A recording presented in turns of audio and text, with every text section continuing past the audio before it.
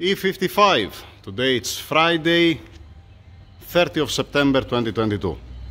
Yesterday I didn't have a chance to work on this car, alright? Today, finally, I can start working on it. What do we have here? The gear with the bolt, the oil pump chain with the guide and the tensioner, the check valve, the oil pump, bolts, oil pickup tube, o-ring, okay, Vaseline and in broad, yep. Torque wrench, couple of tools on my left, parts on the right. One second for you, five minutes for me. Let's install first these parts. Chain, check valve and o-ring. Oil pump, oil pump chain, the guide here, the new guide with a little bit assembly grease in place, alright, being torqued down, the new o-ring in place, fine, let's put the gear. Here, yeah, Vaseline assembly grease, I didn't show you that I have very clean and a clean rag earlier. To be complete. Let's put it on. And that's it with the gear, back in place, alright, obviously it's not moving because it's not moving at all actually in and out. I put assembly grease inside for the first start until it comes some oil up. So I have to put also on the guides here to don't run dry the chain. Fine and then I'm gonna adjust it to come the all the last from this side to put also here some uh, lubrication for the first start. On the guide for the oil pump already put. Like I said it's here it's okay. Alright let's continue with the timing cover.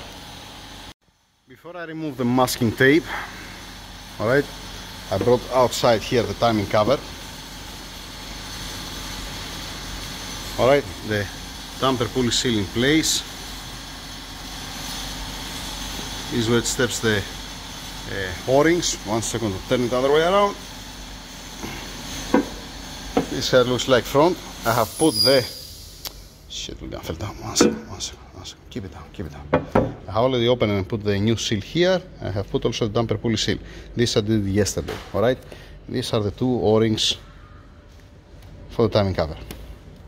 Now, like I said, test fit first. You don't hear the head gasket. Then taking it out, remove all the oil, whatever oil drip drop down here. Put uh, assembly grease on the guides and then start closing it. Okay, timing cover on. Now, coolant temperature sensor here, water pump thermostat. And it's here, water pump, thermostat, and the sensor. Alright, now, water pump back in place, thermostat back in place, coolant temperature sensor here, back in place. Continue with the damper pulley and the oil filter housing.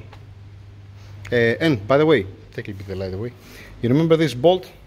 The thread was not good this already replaced it I'm gonna give it back to the customer uh, actually it's gonna be here with the rest of the parts the old parts let's check valve okay yes.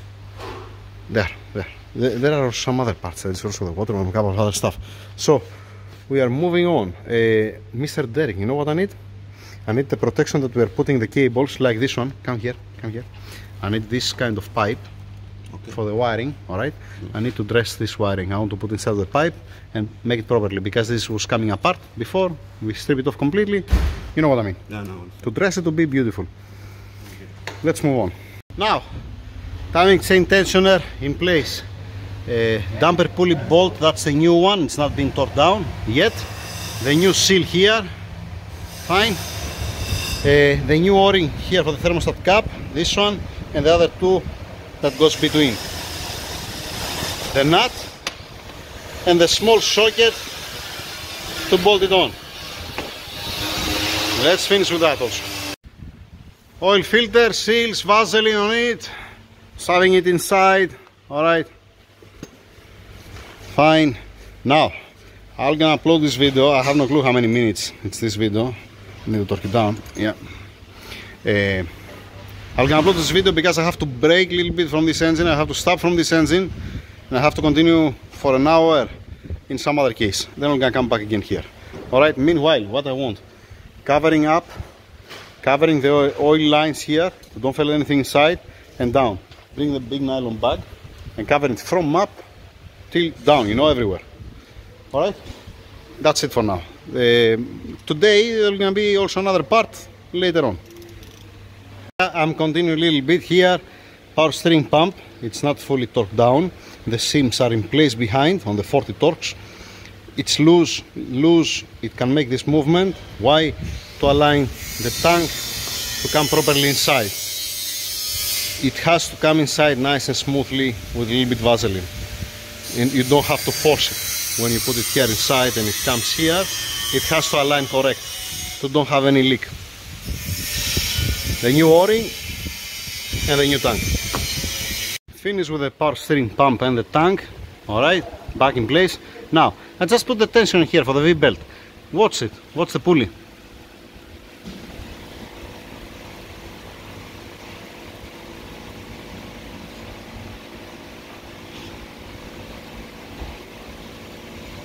put the see the edge here and here with a steady point.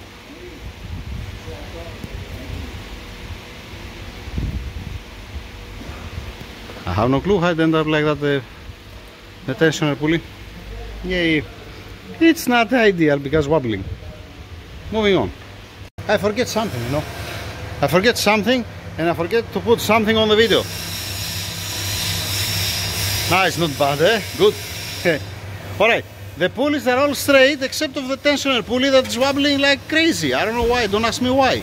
Alright, then what I forget to point, I forget to show you here that I I came with a Dremel and I machine this side here where it's the oil pump chain to don't touch. I went with a Dremel and I clean it up to don't have sharp edges and to to don't touch. That yeah that's it that's it that's it. Okay uh, fortunately I remember it alright? Power steering pump I already show you the ground's already been torqued down. The safe back in place aligned properly. The bolt alright the AC compressor tensioner this has not been torqued down later not now. Uh, torque down torque down torque down alternator. We are looking good.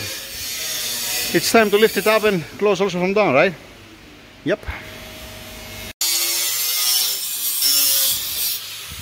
Today, since you came, all of you, you're running full throttle.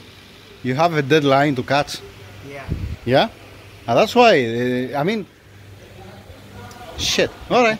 Okay. Well, just 30 seconds only from you. 30 seconds only, and then you can continue. I'll give you the green light. Yeah, okay, I'm here.